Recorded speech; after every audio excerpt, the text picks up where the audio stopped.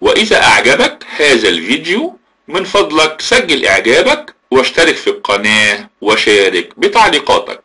أهلا بيكم في موسوعة افتتاحيات الشطرنج وفي هذا الفيديو هنناقش أحد الافتتاحيات الهجومية المعروفة باسم هجوم الكبد المقلي. سنتكلم في هذا الفيديو عن افتتاح هجوم الكبد المقلي وهو الافتتاح المفضل لكثير من اللاعبين.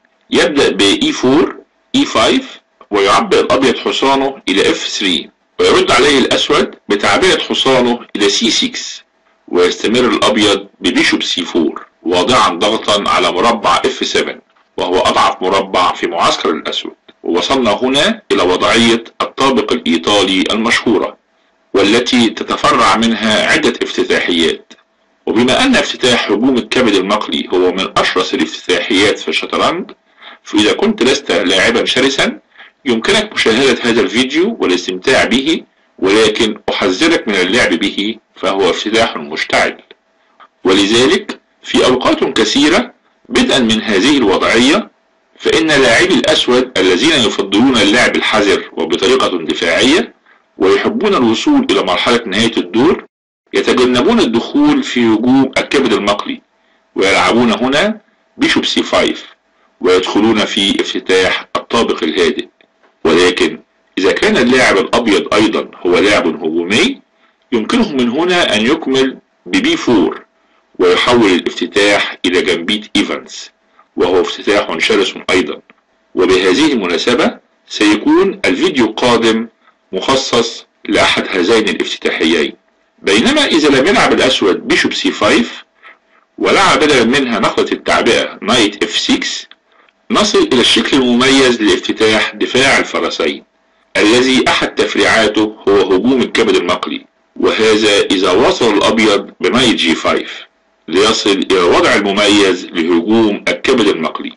الحصان على G 5 مع فيل C 4 يضع ضغطا إضافيا على مربع F 7 وكما قلنا فإن هذا المربع هو أضعف نقطة في معسكر الأسود. هذا المربع حاليا مهاجم بقطعتين هما الحصان والفيل بينما تدافع عنه قطعة واحدة وهي الملك الأسود ولذلك يواصل الأسود غالبا بلعب D 5 وهذه هي نقلة الخط الرئيسي الذي سنراه.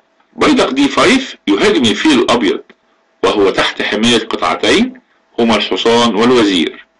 وفي نفس الوقت يغلق طريق الفيل عن مربع F7 ويكمل الأبيض هنا ب ETX D5 ويأخذ الأسود بالحصان. تحت حماية الوزير وفي نفس الوقت ما زال يقطع طريق الفيل عن F7 الأبيض هنا لديه اختيار يمكنه الدخول فيه وهو أخذ بيدق F7 بالحصان.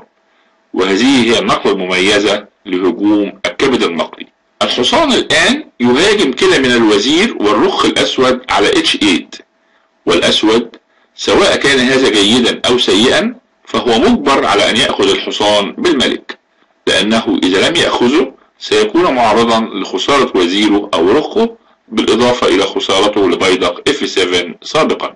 ومن هنا يجب على الأبيض أن يلعب بكل شراسة فقد ضحى بمادة كبيرة ويجب أن يلقي بكل قواه على الملك الأسود من أجل الوصول إلى كش مات الآن وإلا سيخسر الدور. ويجب أن أنبهك إلى أنه في هذا الوضع يوجد العديد والعديد من النقلات والتفريعات المختلفة التي لا يمكن أن أتعرف عليها في مجرد فيديو وحيد.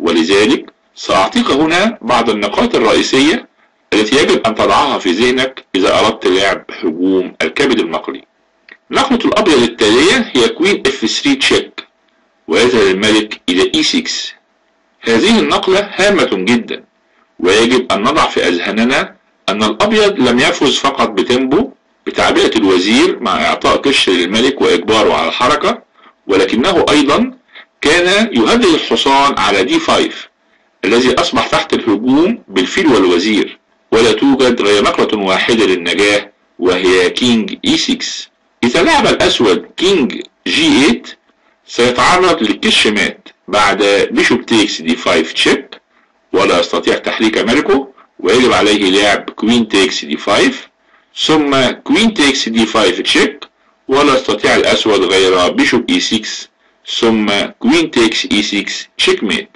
لذلك يجب أن نضع في أذهاننا أن الأسود يمكنه أن يلعب نقلة سيئة وأن أفضل نقلة هي الذهاب بملكه إلى E 6 فإذا لعب مثلا king E 8 سيواصل الأبيض بلعب bishop takes D 5 والفيل تحت حماية وزيره.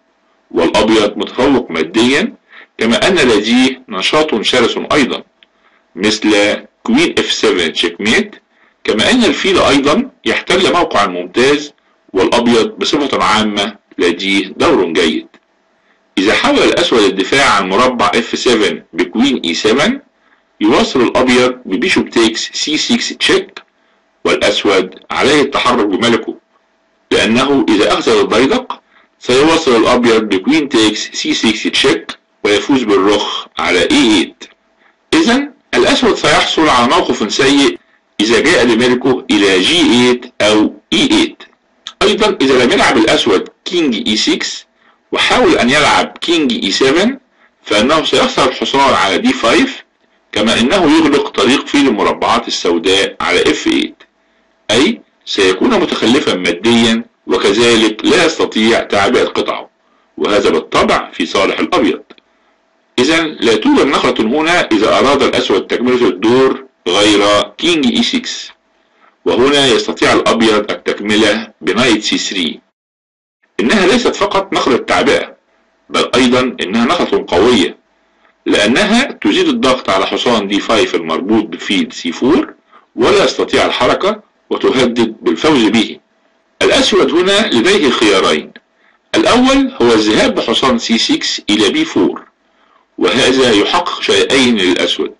أولا يحمي حصان D 5 وبذلك يرفع بعض الضغط من عليه. وثانيا يهدد بالأخذ على مربع C 2 بشوكة الحصان للملك والرخ الأبيض على A1 والأبيض لديه القليل من الردود. أحد هذه الردود هو لعب A3 بتهديد الحصان. مما يجبره على أخذ بيضة C2 بكش مع تهديد رخ A1 ولكن بما أن الأبيض اختار لاعب هجوم الكبد المقلي فهو يعلم أن هذا الهجوم يهتم بالقطعة النشطة وليس بالفوز المادي المؤقت.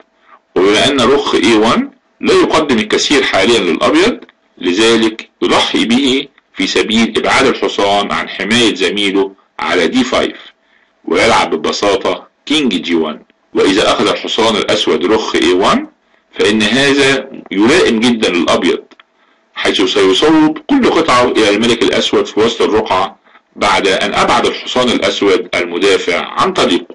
ومرة أخرى أذكرك أن هذا الافتتاح شرس جدا ويقوم فيه الأبيض بتضحيات كبيرة. ولذلك فإن هدفه هو الفوز وإعطاء كشمات للملك الأسود في مرحلة مبكرة من الدور. الأبيض يكمل بالأخذ على D5 بحصانه من C3 والحصان أصبح في موقع ممتاز للغاية والأسود ليس لديه غير تحريك الملك إلى D6 حيث لا يستطيع أولا الذهاب لعمود F لوجود الوزير وكذلك لا يستطيع البقاء على E6 حيث سيكون معرضا لكش خطيرة بالكشف من فيل C4 بعد تحريك الحصان D5 لأي مربع ملائم. وهنا يستطيع الأبيض المواصلة ب D4 وهذه النقلة تنشط فيل ذو المربعات السوداء كما أن البيدق يسعى للتخلص من بيدق E5 الأسود. وإذا أخذ الأسود على D4 يلعب الأبيض فورا bishop F4 check وهذا يعتبر فوز سهل للأبيض حيث أن الملك الأسود في الوسط محاصر بكل القطع البيضاء. ولذلك إذا عدنا لهذا الموقف نجد أن الأسود لا يستطيع أخذ رخ A1 وربما يلعب knight D4 مهددا للوزير الأبيض الذي يكمل ب bishop takes D5 check. وبالطبع لا يستطيع الأسود معاودة الأخذ سواء بالوزير أو الملك لوجود حصان C3 ويلعب الأسود king D6 ويرد الأبيض ب queen G3 رابطا بيدق E5 كما يتخلص من تهديد حصان D4 وبغض النظر عن نقلة الأسود القادمة فإن الأبيض سيواصل بلعب D3 لتنشيط فيل C1 ويواصل الهجوم على ملك الأسود المتواجد في وسط الرقعة.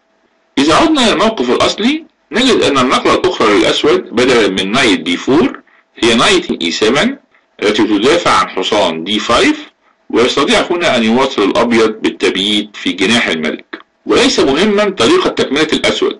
فإذا لعب مثلا C6 لحماية حصانه المهدد على D5 سيواصل الأبيض ب rook E1 مستعدا للعب D4 وهي نقلة مزعجة للأسود حيث أن بيدقه E5 مربوط بالرخ كما أن الأسود لن يستطيع حمايته ببيدق آخر. كذلك نقلة ال D4 فتحت الطريق لفيل الأبيض ذو المربعات السوداء على C1 الذي سيساهم في الهجوم على ملك الأسود في وسط الرقعة حتى يصل إلى الكش مات. وهكذا لقد عرضت عليك هجوم الكبد المقلي وهو أحد تفريعات افتتاح دفاع الفرسين أرجو أن تكون قد استفدت واستمتعت بهذا الفيديو وإلى اللقاء في فيديو قادم وافتتاح جديد. وإذا أعجبك هذا الفيديو من فضلك سجل إعجابك واشترك في القناة وشارك بتعليقاتك.